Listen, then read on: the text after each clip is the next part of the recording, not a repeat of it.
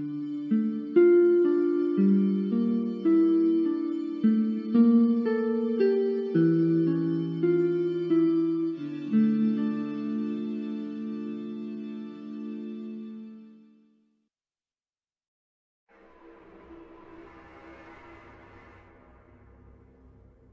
Thomas Dean Gibson, more commonly known as Tommy, was born on the 5th of July 1988 in Glendale, Douglas County, Oregon, to parents Larry and Judith Gibson, who already had a daughter by this time, Karen, who was two and a half years Tommy's senior. On March 18th of 1991, two-year-old Tommy was playing in the front yard of the family's residence in rural Azalea, and at approximately 11:30 a.m. that day, Tommy vanished into thin air. Authorities were called and the search for the toddler began, but this case was far more complex than what first would meet the eye. According to Tommy's father, former Douglas County Deputy Sheriff Larry Gibson, on the morning of his son's disappearance, he came outside and found Tommy playing in the yard. He told him to stay there and to wait for his sister Karen to come outside. Larry then claimed that he went out for a jog, taking his .45 automatic handgun with him for reasons unknown. As he went over a fence in his yard, he noticed a stray cat walking nearby. These cats had been causing quite a lot of trouble in and around the area, so Larry decided to shoot it. It's difficult to fathom why someone would feel the need to shoot a stray cat, especially in a city. However, Larry claimed that his shot missed and the cat ran down a nearby hill.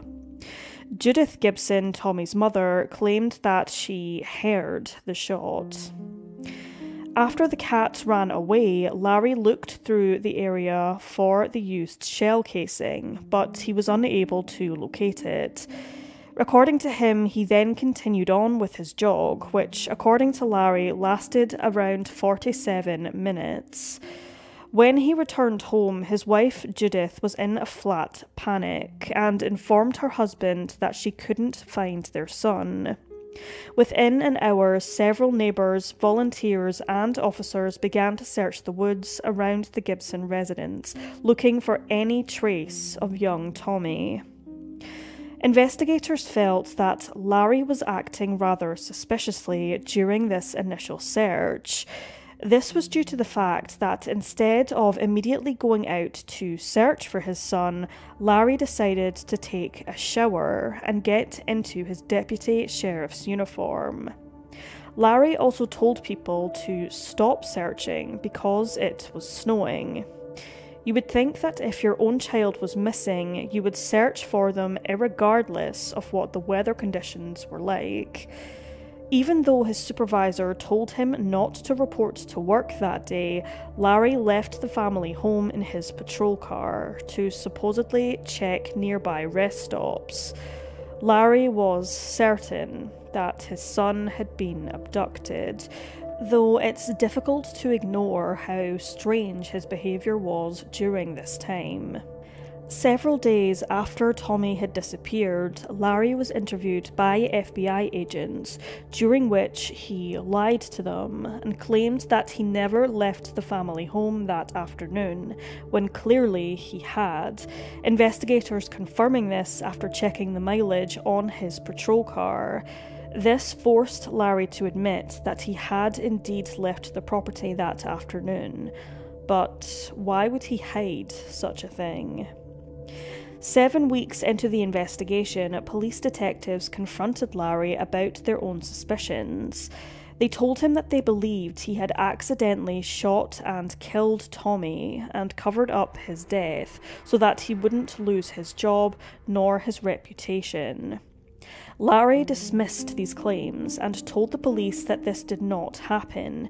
However, he strangely said that the scenario was, quote, possible. Something else which didn't add up was the 47 minute time frame during which Larry allegedly went on his jog. Authorities, strangely enough, did find a dead cat in the area and theorised that the bullet had passed through the cat and struck Tommy as he played in the yard nearby. Investigators suspected that Larry continued on his jog, unaware that he had accidentally shot his son until he returned home. Another point of interest was that Larry claimed that he jogged for over two miles, which took him 47 minutes in total. However, investigators determined that he only jogged for one mile, which would have taken about half the time, roughly just 20 minutes, leaving more than 20 minutes unaccounted for. Investigators believed that when Larry returned, he found his son's body and he subsequently panicked. Police believe that Larry then spent the next 20 or so minutes cleaning up the scene and hiding the body, possibly placing it in the trunk of his patrol car before driving off, whilst volunteers searched for Tommy. Larry, however, claims that this theory is simply not true.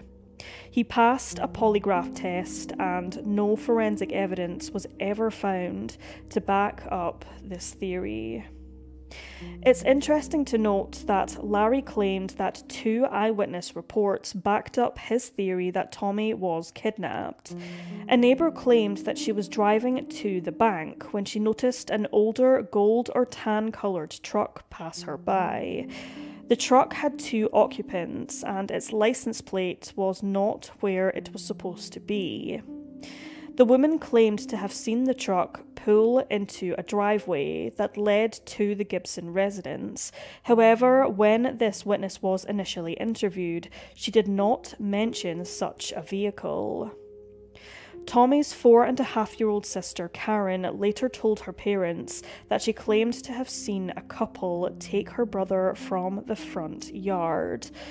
The woman had long blonde hair, and the man had dark hair, a beard, and scruffy looking clothes. The truck was similar in description to the one allegedly seen by a neighbour, however, the couple have never been identified. Police have mostly dismissed this claim as they believe Larry may have coaxed his daughter into making a false story in order to protect him and his family. Soon after Tommy vanished, investigators received a mysterious letter which was signed, quote, Spot in the Road. They believe the author has vital information in regards to Tommy's disappearance, but the author has never come forward nor revealed their identity.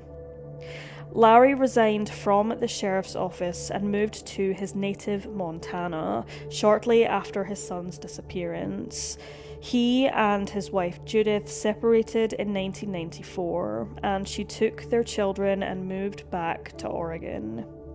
In April of 1994, Larry Gibson was arrested and charged with Tommy's murder after Tommy's sister Karen shockingly changed her story.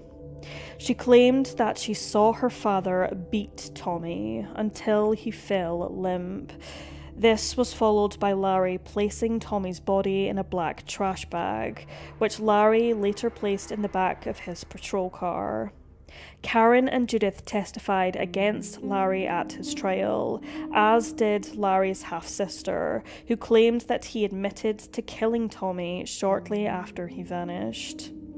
Judith also claimed that her husband was physically abusive towards Tommy and their other daughters, Karen and Lisa, who was born after Tommy's disappearance.